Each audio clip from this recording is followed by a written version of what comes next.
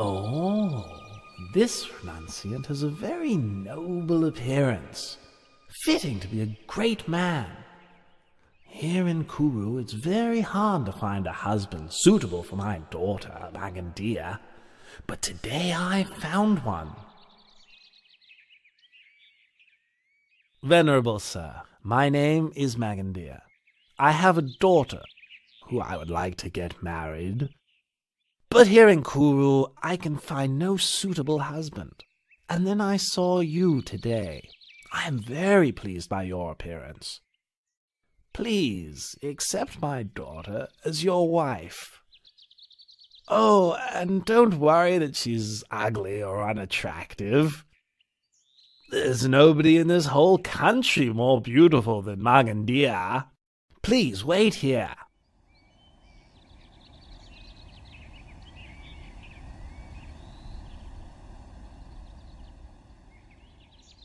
Oh, my, my dear child, Magandiya. Oh, I'm exhausted. Hurry up. Make yourself as attractive as you can. Now, right now. Quickly, my daughter. If you're tired, then sit down and take a rest, husband. And why do you want our daughter, Magandiya, to dress up prettily? Come on, please. Sit down and rest? No. Magandiya, are you ready yet? Hurry up. I'm ready, father. Right, right. Go quickly. I've met him. I've met him. Met who? I met him. Hey, where's he gone? What's this all about? You've brought me all this way and I still don't know what you're talking about. I've met our daughter's future husband. That's what I'm talking about. I told him to wait for me here, but he's disappeared. Ah, there, you see? His footprints are still there. You're knowledgeable in the texts dealing with the interpretation of footprints. Have a look at them.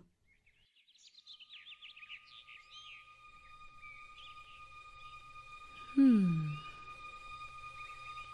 Two footprints that exactly match in this way are the footprints of a great being. They show that he is beyond craving, beyond anger, beyond delusion, without defilement. Such a one is not interested in household life. no defilement? What? Every man likes beautiful women. Let's see what happens when he sees our daughter. The main thing is to find where he's gone to.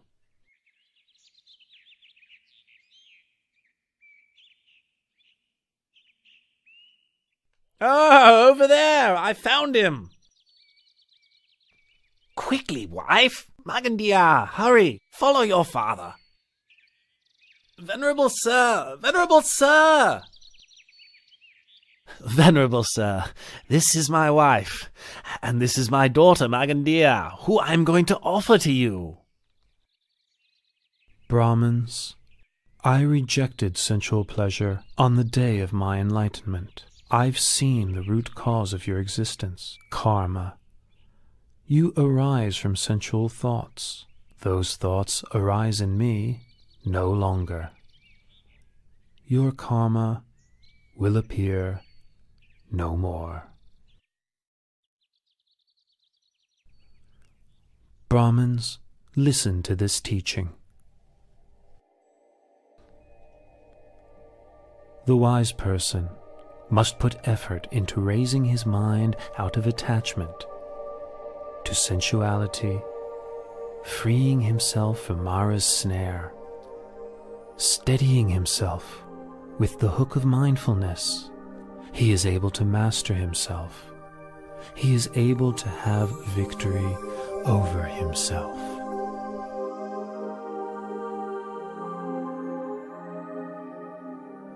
Your teachings have illuminated the path ahead for us both.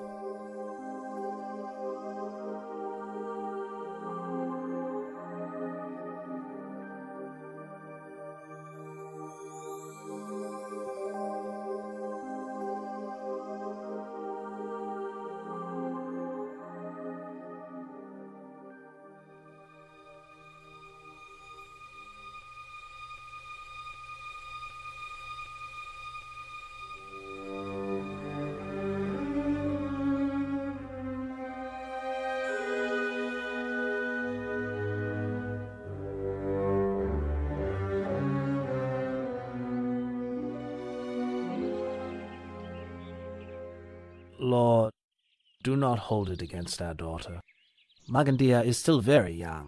We ask permission to go to my younger brother, to give him all my wealth, and ask him to take over as guardian of our daughter.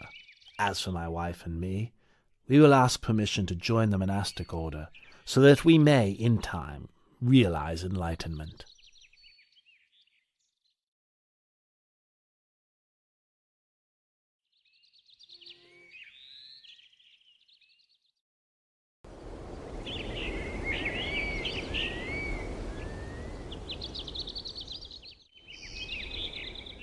Uttara, why did you send someone to ask for such a large sum of money from your father?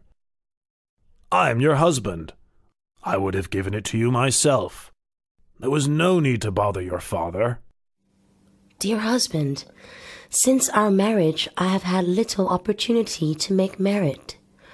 I wanted the money to buy food to offer to the Lord Buddha and his disciples.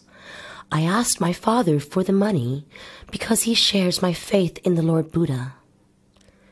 It's not, you see, that I have no wish to accept your money, good husband. Hmm, in that case, let it be as you wish. My intention is to prepare the food myself and invite the Lord Buddha and his disciples to receive food in our house for fifteen days.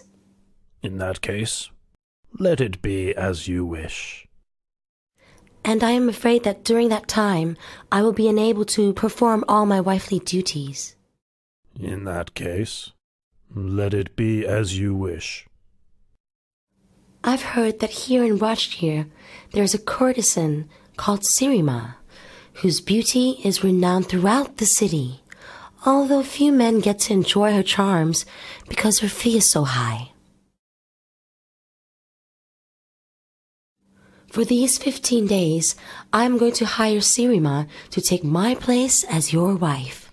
Uh, uh, in that case, um, uh, uh let it be, um, as you wish.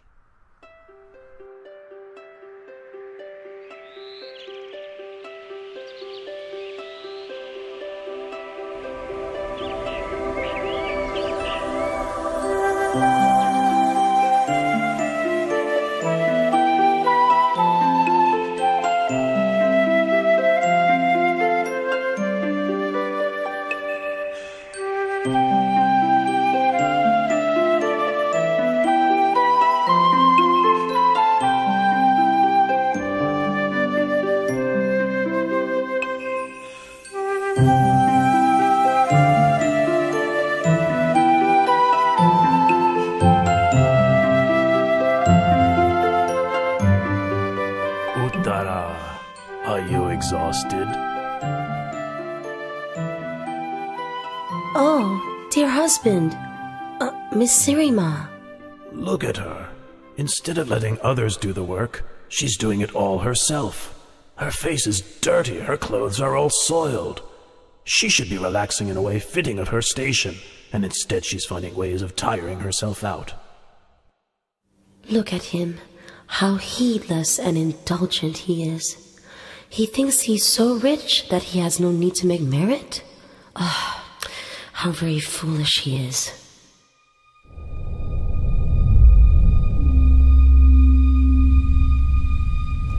Look at Uttara.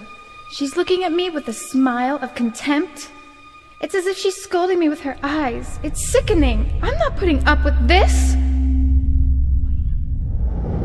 You. You. Uttara. Look at me. You want to fight? Well. You're gonna get what you want.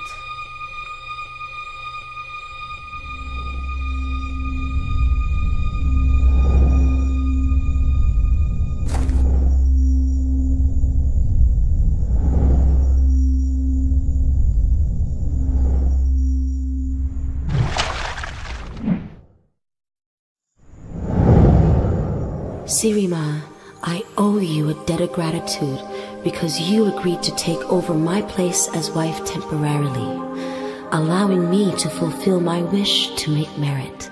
No matter how you treat me, I will not become angry or vindictive.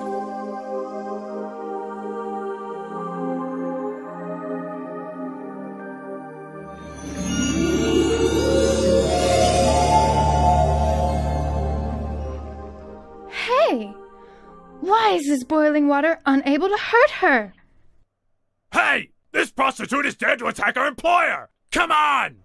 Let's uh, get her! Yeah, let's get her. Come on, guys, let's go. All of you, don't hurt her. Sirima is like a friend to whom I owe a debt of gratitude. I am not angry with her.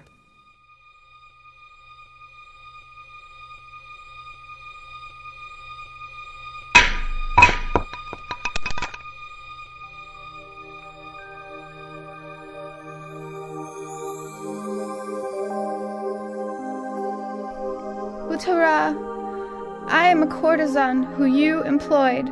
I forgot myself and started imagining myself as your husband's wife, and so attacked you. But your heart is so noble. It is filled with loving kindness, and you have not shown me even the slightest amount of anger. I have wronged you. Please, forgive me. Oh, get up, Sirima. If you want to ask for forgiveness, then you should ask it from the Lord Buddha, whom I revere above all others. Tomorrow I will have completed fifteen days of offerings. Please, come and offer food and listen to the Dhamma with me.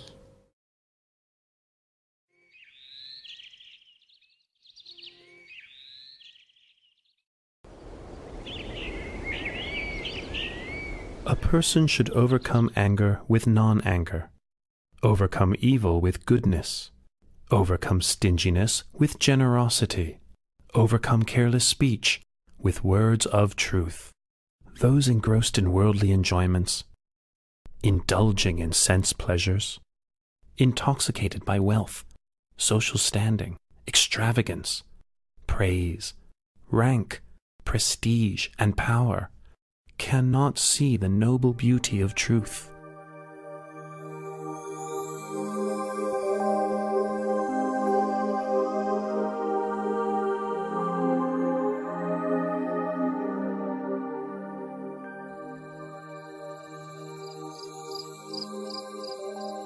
Oh, she's still so young and beautiful, too young to die. The day this woman listened to a talk from the Buddha, she gave up her life as a courtesan and turned to making merit every day. But life is uncertain, and now, not much later on, she's dead. Uh, let's get down to work. It's already time to cremate the body. hey, wait a minute. We can't cremate her yet. Well, why not? The Buddha has requested King Bimbisara to order us to keep the body for three days. For three days. Oh, whatever for?